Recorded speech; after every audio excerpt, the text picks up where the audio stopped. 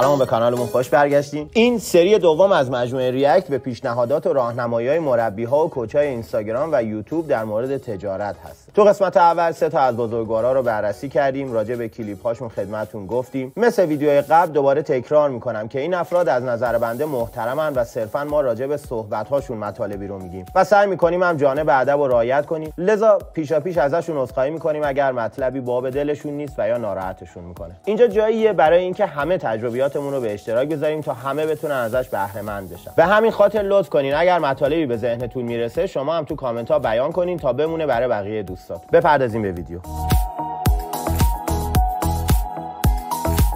خب اولا که من پیشنهاد می‌کنم دوستان رو follow داشته باشین. مطالبی که میگن کمک می‌کنه و از روی آگاهی هستش کلیپاشون و صرفا فقط برای جذب افراد نیسته. دوم اینکه دوستان اکثرا مطالبی که ما و یا این افراد خدمتتون میگیم نسبی هست. نسبی از این بابت که ممکنه برای شما مفید و یا ممکنه براتون هیچ فایده ای نداشته باشه. زرنگی شما میشه این که اون مطالبی که به دردتون می‌خوره رو از بینشون جدا کنین و برای خودتون نگه دارید و سوم اینکه مکررا تو ویدیوها گفتم که اعتقادی به شرکت تو دوره های گرون ندارم. و اگر خودم دوباره هم بخوام وارد این کار بشم مجددا کلاس های اتاق بازرگانی شرکت می‌کنم که همه مطالب رو میگن با هزینه کم و در کنارش هم میرم یه دفتر بازرگانی مشغول به کار میشم با حقوق و دستمزد پایین حتی و در کنار اونا از طریق تجربی کارو یاد می‌گیرم. این روشش است به نظر من. اما معمولا این دوستان چند تا پیشنهاد براتون دارن.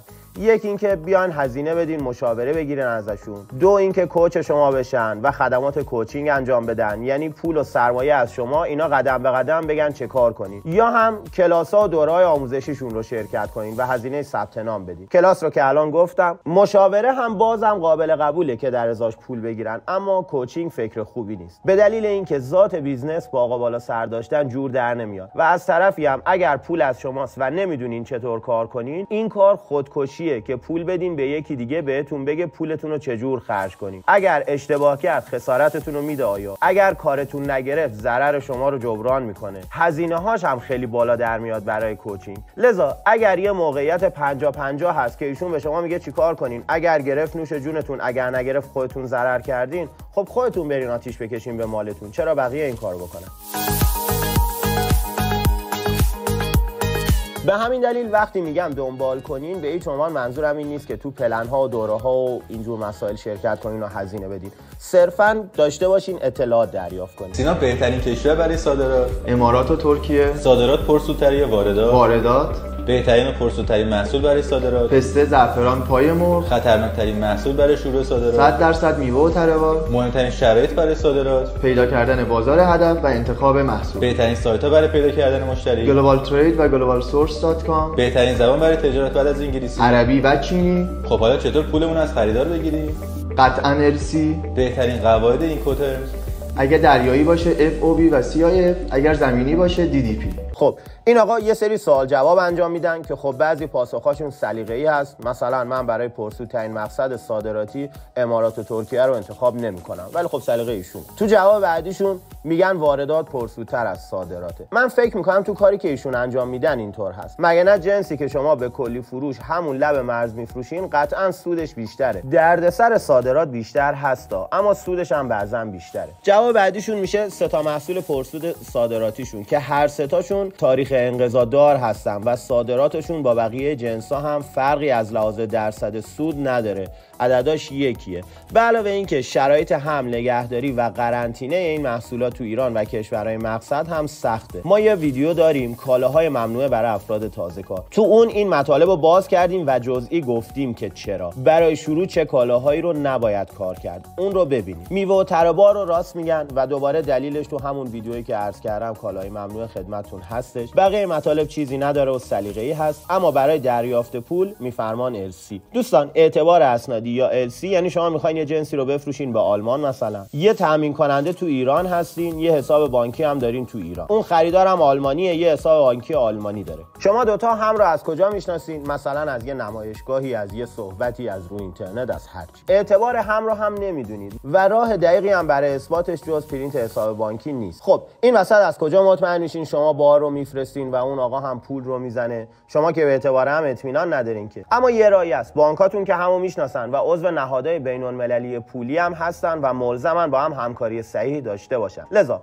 شما آلمانی قرارداد بینتون رو می‌برین بانکاتون یه line LC باز می‌کنین بانک ها با هم در ارتباط قرار می‌گیرن و طبق بندای قرارداد و اسناد ارائه شده مراودات مالی رو انجام میدن. به این میگیم السی یعنی شما بار رو میفرستین فاکتور می‌کنین و اظهارنامه گمرکی هم می‌برین بانک و بانک شما به اعتبار همین اسناد از بانک آلمان درخواست پول می‌کنه. و اونا هم مدارک رو چک می‌کنن و حتی اگر خود آلمانی قبول نداشته باشه وقتی اسناد درست باشه و شما تعهدات قراردادتون انجام داده باشین پول رو به حساب شما میریزن. این میشه ساده شده LC قطعی ترین روش و مطمئن ترین روش مالی بازرگانی خارجیه اما ایران کلا تحریم و LC باز نمیشه. نکته بعدیشون قواعد اینکوترمز هست که ویدیوهاشو ببینین. متوجه میشین که اینکوترمز رو چجور استفاده کنین که به نفعتون باشه و چه ترمی رو انتخاب کنین. اگر صادر کننده هستین اگر وارد کننده هستین و روش های مختلفش رو.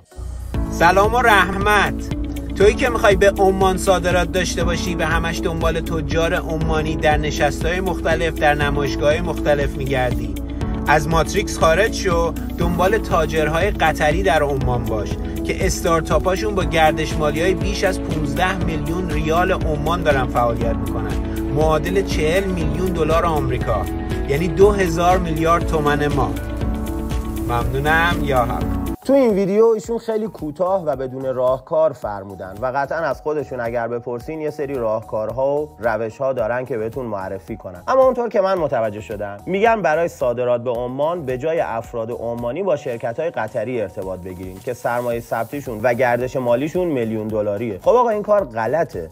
اولا برای شما که محصولتون هر کانتینرش نهایتا تا 200 هزار دلار بیشتر پولش نیست. چرا؟ و چه فرقی می‌کنه بین یه نفر که گردشش دو میلیون دلاره یا چهل میلیون دلار؟ به زرق و برق که نمی‌خواین معامله کنید و اگر تازه واردین اصلا نباید به مقدارهای خیلی بالای فروش فکر کنید یهو 100 کانتینر بفرستین از رو کارنابلدی و یه اشتباه کوچیک می‌بینین خواب کانتینراتون تو گمرک هر شب 5000 دلار 6000 دلار براتون میشینه. و کشتی میاد میچسبه شما بار رو نمی‌تونین برسونین. هر نصف روز 20 هزار دلار جریمه میشین و کلی ضررهای دیگه. اگر تازه کارین با تاجرای متوسط و با میزان کم معامله کنین تا کار رو یاد بگیرین بعد کم کم گسترشش بدین. دوما قانونای بین المللی موقع دعوا خیلی سخت تره اگر یه شرکت از یه ملیت دیگه تو منطقه آزاد یه کشور دیگه با شما قرارداد داشته باشه و پیچیدگی های کار داغونتون می‌کنه. و مهمتر از همه اینا شما می‌خواین توی یه کشور صادرات داشته باشین بهتره از همون کشور تاجر پیدا کنین. و با همون آدم که دستش بازه و می‌تونه به زبون و فرهنگ مردم خودش جنستون رو جا بندازه همکاری داشته باشین. دقت کنین.